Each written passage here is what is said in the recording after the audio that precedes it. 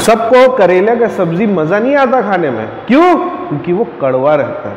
तो कोई भी किसी से पूछेगा हाँ तुमको क्या खाना? सब बोलेगा, सर, हमको पनीर खाना है, हमको चिकन खाना है तो हमको छोला खाना है। लेकिन कोई भी नहीं बोलेगा, सर, हमको करेला खाना। तो इसीलिए जब भी करेला का सब्ज़ी बनता है घर में, मेरे घर में भी जब बनता है तो मेरे साथ ऐसे ही होता है, क्योंकि हमको भी करेले का सब्ज़ी होता है अच्छा नहीं लगता है। बट क्या करें? मम्मी बनाई है मतलब खाना तो ज़रूरी है, नहीं खाएँगे तो डांट लगेगा। क्योंकि मम्मी लोगों को पता है कि हम लोगों को क्या ज़रूरत है, कब और क्या चीज़ खाना चाहिए जो हम लोगों का सेहत के लिए भी अच्छा होगा। ठीक है तो इसीलिए करेले का सब्ज़ी सुनकर मिशा जय और अंशी क्या बोलते हैं, ये देखो।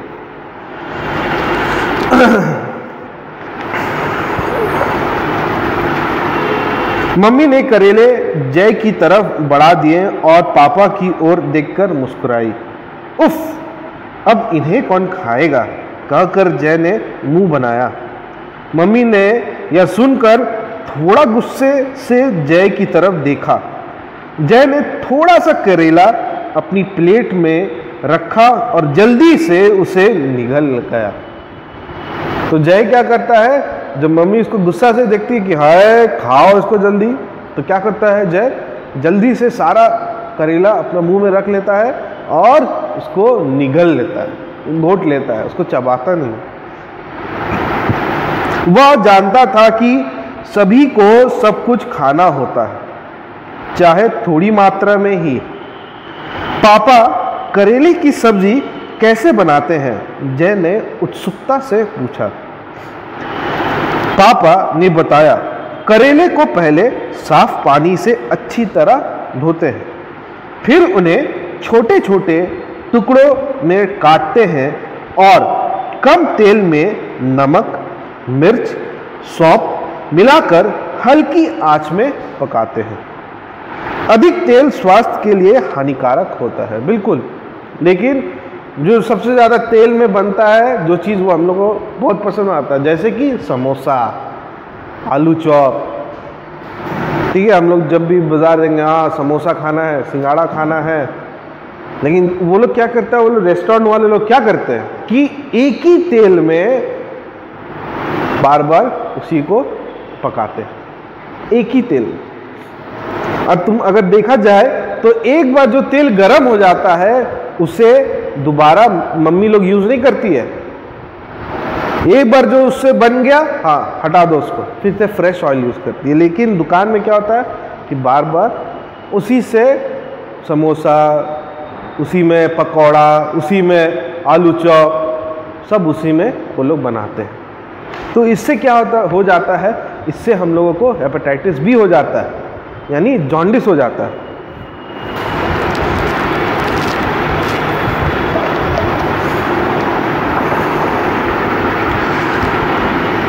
ध्यान रखते हैं कि अधिक पक ना जाए। खाने को अधिक देर तक पकाने से अधिक उसका पौष्टिक तत्व नष्ट हो जाता है। बिल्कुल, खाना को भी ज़्यादा देर तक बनाना नहीं चाहिए। क्यों? अगर ज़्यादा देर तक बनाओगे तो वो गीला भी हो जाएगा, खराब भी लगेगा, स्वाद भी नहीं आएगा। प्लस उसका जितना भी पौष्टिक तत्व रहता है वो भी नष्ट हो जाएगा। इसलिए खाना को ज़्यादा देर तक पकाना नहीं चाहिए। एक बार जो तुमको लगता है कि हाँ ये पक गया है उसको उतार दो। ठीक है मम्मी, अब पनीर की सब्ज़ी खाता हूँ। वह, अत्यंत ही स्वादिष्ट। वह, होठों पर जीभ फेरते हुए बोला। तुम बताओ मिशा, तुम्हें क्या चाहिए? मम्मी ने मिशा से पूछा। क्या आप चावल दे सकते हैं? प्लीज़। मिशा ने अत्यंत नम्रता से कहा। बिल्कुल, कभी भी हम लोग कुछ भी मांगते हैं, चाहते हैं स्पेशली बड़े लोग से जब हम लोग कुछ मांगते हैं तो याद रखना कि हमें रिक्वेस्ट करना है। तो जब भी हम लोग रिक्वेस्ट करते हैं तो प्लीज़ बोलना अत्यंत आवश्यक होता है। धन्यवाद पापा। सॉरी पापा ने उसे चावल का डोंगा दे दिया। धन्यवाद पापा। चावल कितना अच्छा बना है। एक एक दाना अलग दिख रहा है, निशा ने कहा। मम्मी, चावल तो आपने बनाया है। आप ही बताओ कि पानी में चावल पकाने पर भी इसका एक एक दाना अलग कैसे हो गया? जय ने पूछा। अब जय क्या पूछ रहा है कि चावल कैसे बनता है? जय, चावल बनाते समय पानी की मात्रा ठीक होनी चाहिए। यही नहीं, किसी भी व्यंजन में मसाले तथा पानी की उचित मात्रा होनी चाहिए, तभी स्वाद अच्छा लगता है और वह पौष्टिक होता है। ठीक है, मम्मी। मैं आपकी सारी बातें समझ गया, जय ने पूछा। तो मम्मी ने कहा कि चावल जब भी बनाते हो तो चावल में जो पानी रहता है उसका मात्रा सही होना चाहिए। ना अधिक होना चाहिए, ना कम होना चाहिए। तब जाकर वह चावल अच्छा बनेगा। दाल मुझे, दाल दो, मुझे दाल चाहिए। अंशी ज़ोर से बोला, उसने अपने हाथ से दाल का डोंगा अपनी तरफ़ खींच के, खींच, खींचने की कोशिश की। दाल छलक कर साफ़ मेज पोस्ट पर गिर गई। तो अंशी को क्या चाहिए था? दाल। तो वो क्या कर रहा था? वो ज़बरदस्ती ज़ोर ज़ोर हमको दाल चाहिए, हमको दाल चाहिए। और जैसे वो दाल के डोंगी को खींचता है, ज़बरदस्ती तो क्या होता है कि दाल छलक कर टेबल पर गिर जाता है। देखो तुमने यह क्या किया? जय ने छोटे भाई को डांट लगाई। निशा ने पेपर, नैपकिन से दाल को साफ़ कर दिया। शायद तुम यह कहना चाहते थे, प्लीज़ मुझे दाल दीजिए।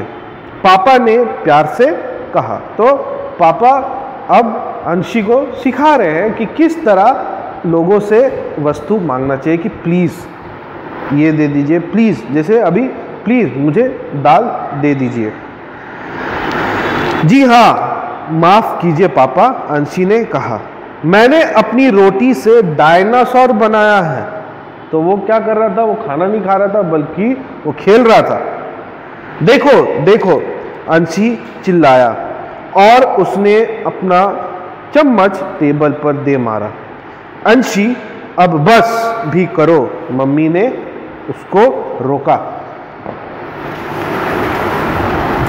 अंशी तो पहले ही रुक चुका था, क्योंकि रोटी का एक टुकड़ा अंशी के गले में अटक चुका था।